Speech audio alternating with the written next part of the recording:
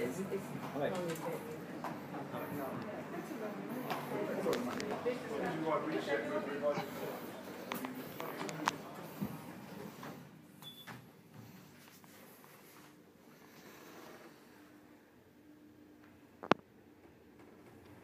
looks like it didn't carry in the sand.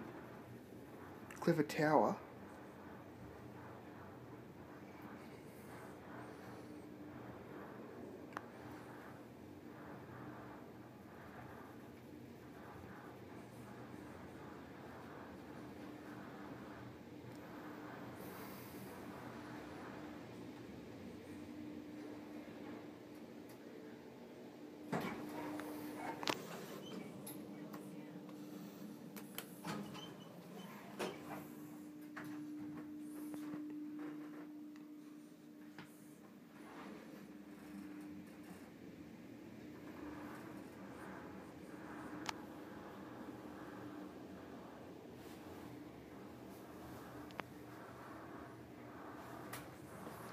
It's really posh.